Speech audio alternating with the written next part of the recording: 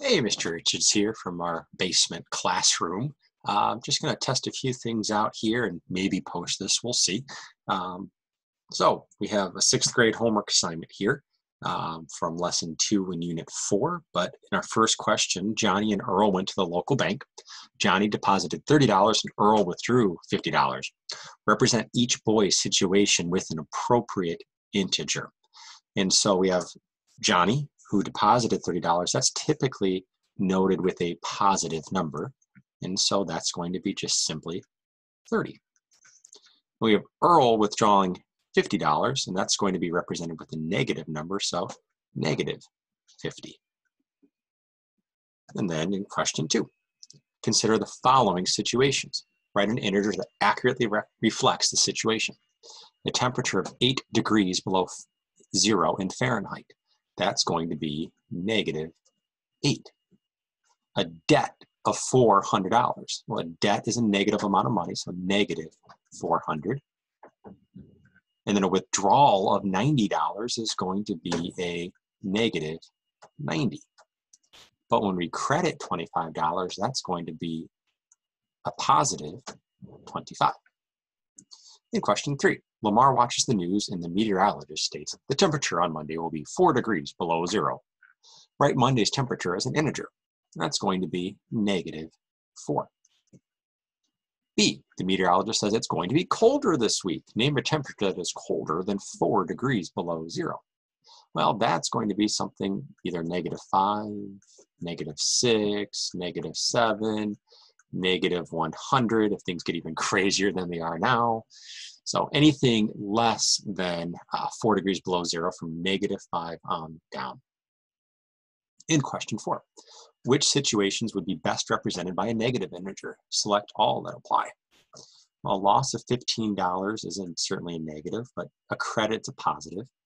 A charge is a negative. A debit is a negative, but a deposit's a positive. So the three situations there, A, C, and D, are situations that are best represented by a negative integer. As we continue on, use the thermometer below to answer the questions that follow. There's the thermometer. Here's the questions.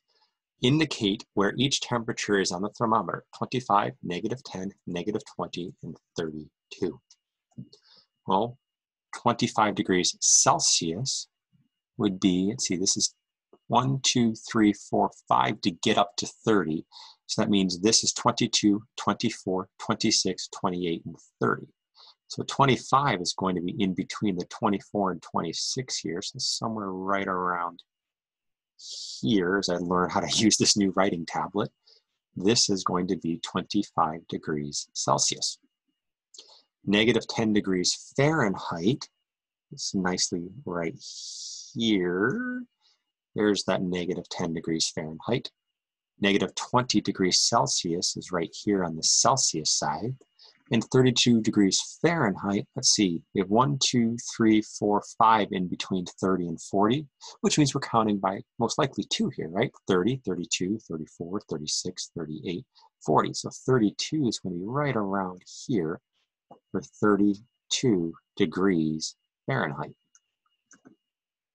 In B, approximately what temperature in degrees Fahrenheit is the same as negative 10 degrees Celsius?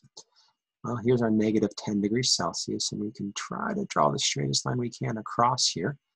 Again, we're counting by twos, so counting down, it's 20, 18, 16, 14. Counting up, 10, 12, 14. So I would think it's pretty close to 14 degrees Fahrenheit.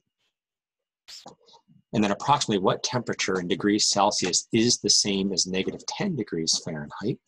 We'll come back up here to negative 10 and try to draw the straightest line-ish that we can. Maybe right here if I drew it straight. And again, these were counting by twos here. So this would be negative 22 followed by negative 24 degrees Celsius. And so negative 24 degrees Celsius is our solution there. Problem six, for each description below, write an integer to represent the situation. Then represent the integer on a number line indicating the location for zero or of zero using appropriate scale. Well, you earned $35 babysitting. That's going to be a positive 35. And if we draw a number line here, I'll get better as we go, maybe. we'll put zero where it's not straight. And $35 for babysitting, you know we need at least counting by fives. And so maybe go five, and then 10, 15, 20, 25, 30, 35, 40. And then you owe your sister 18. Well, that's going to be negative 18 because you owe. And so in this case, as we sketch out our number line, see, it got a little better until I try to draw the arrow in. Let's put zero here, and the numbers are going to get smaller as we go to the left. Whether it's the positive side or it's smaller on the left or the negative side, it's always going to be smaller to the left.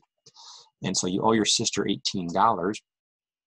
And we could count by twos or threes here um, to get to 18. Um, count by fives and put something in between. Uh, let's just count by threes, perhaps. So we'd have negative 3, negative 6, negative 9, negative 12, negative 15, negative 18 by that little squiggly mark where I had it. the average temperature in Boston last week was 6 degrees Celsius below zero. 6 degrees Celsius below zero is negative 6.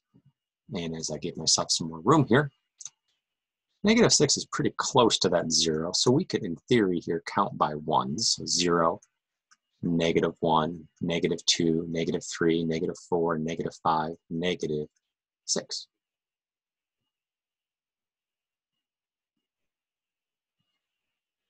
And that's it for lesson two. As we get to the next page, here's lesson three.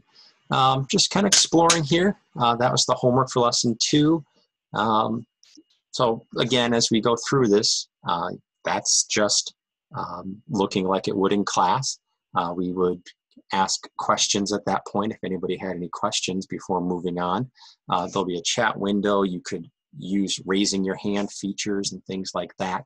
Um, so uh, we're going to do the best we can as we go through here. Uh, I'm certainly still learning the software, and boom, there I am. So uh, as you can see, my basement is nice and clean, and um, we'll we'll make the best of this. So um, that's it for right now. Uh, good luck.